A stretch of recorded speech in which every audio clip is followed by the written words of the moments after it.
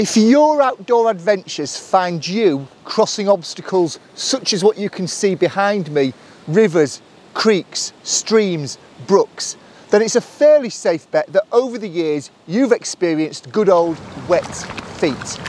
If you want to find out how you can avoid those wet feet by using something as simple as a roll of tape, then keep watching. I feel it's worth saying at this point, of course, there are lots and lots of hazards and risks associated with crossing a water obstacle.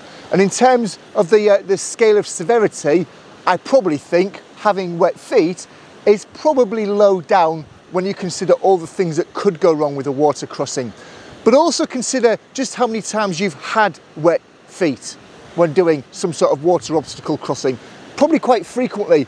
And it's probably made you feel quite miserable. You've got wet feet, wet feet are easy to get cold, um, wet feet are easy are, more prone to uh, to you know sort of soft skin injuries and immersion foot and things like that. So being able to keep your feet drier for longer has got to be in the playbook of anybody that takes the outdoors seriously. So why don't we take a closer look at how I use that tape in conjunction with my walking poles to try and guarantee that I get to the end of the day and my feet are as dry as they started the day. Fingers crossed.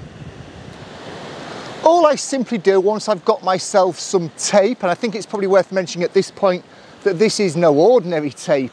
This is some tape that is not only um, day glow, you can see it's high visibility, but it also is, um, it's, it glows in the dark, that's the word I'm looking for. It glows in the dark as well, and it also is easy to be picked up by, um, by torch. So I can see this easily in the daytime and I can also see it fairly well at night as well.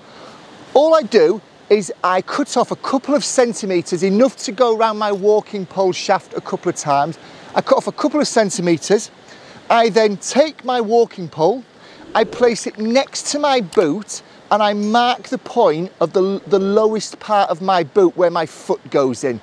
Once I've marked that, I just wrap the tape a couple of times around the shaft around the walking pole and I replicate that on the other walking pole as well. So what I then have, if we look at this from the you know correct orientation, what we then have is I have a gauge that I can look down and very easily see in daytime and at night time to give me a sense. If I can see that tape and I can see plenty of it, there's a fairly good bet that I can put my foot there and it's not going to go over the top of the boot. If I can't see that tape, it's gone below the water surface, that's a really good indicator that if I put my foot there, then I'm gonna get my feet wet because it's gonna go over the tops of my boots. I also can take that same approach and I can also place it at knee level. Now personally, when I'm crossing an obstacle, I want to keep in an area that is as shallow as possible, but that isn't always going to be possible.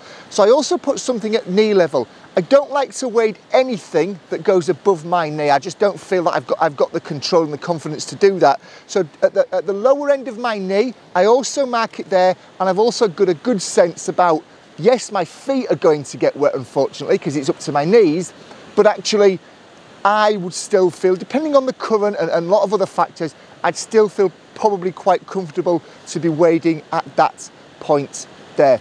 Really, really simple technique, really, really simple idea. Yes, after a little while that tape can unpeel and can come off. I've had that tape on uh, most of this year and it stayed there perfectly well.